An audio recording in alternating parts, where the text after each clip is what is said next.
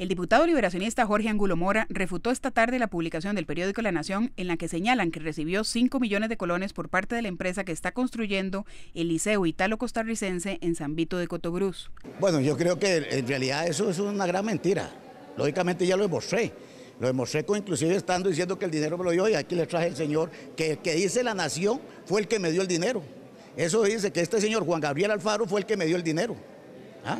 Y véalo hoy lo que él manifiesta, que en ningún momento me le da un 5 al señor diputado. ¿Ah? Eso simple y sencillamente el señor, ya y lo que hace es, porque yo investigué la situación, cómo estaba la construcción del Italo costarricense, creo que con 141 millones de colones no estuviéramos ahí como, como está solo en tierra. ¿Ah? Y eso es lo más grave, además que está solo en tierra, traer los materiales del otro lado de Panamá, evadiendo impuestos, sabiendo que es una obra pública. El diputado verde y blanco se hizo acompañar de Juan Gabriel Alfaro Chávez, a quien se señala como la persona que le dio el dinero al diputado para que la obra no se detuviera. Alfaro Chávez negó haberle entregado dinero al congresista.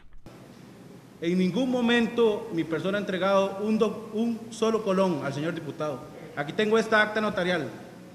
La hice hoy. Hice una declaración jurada manifestando que el señor diputado nunca yo le he entregado un solo colón y la difamación que está haciendo la nación y el señor Sandoval a mi persona me ha indignado porque soy una persona de principios y valores y soy del cantón de Cotobruz y en Cotobruz he recibido llamadas manifestándome que soy un choricero, porque una persona, un periodista irresponsable, nada más llegó y puso Juan Gabriel Alfaro entregó 5 millones sin basarse en absolutamente nada.